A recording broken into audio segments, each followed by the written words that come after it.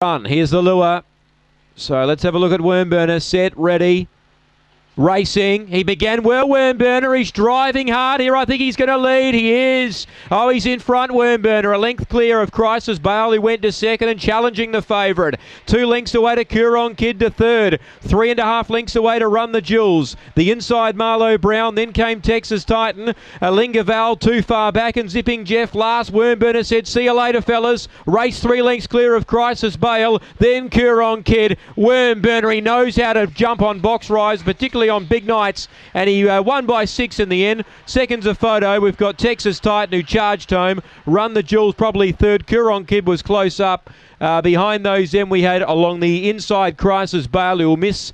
Uh, might be just missed the top four. Further back in the field to Marlowe Brown and the last two in zipping Jeff and Alinga Val. The champ, he knows when to rise to the occasion. 1372 confirmed.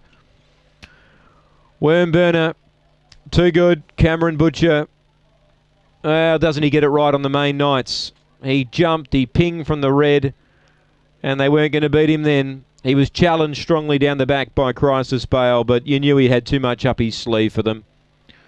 And he raced away to win. Three Texas Titans second, and seven Run the Jewels third. One three seven two Curon Kid fourth.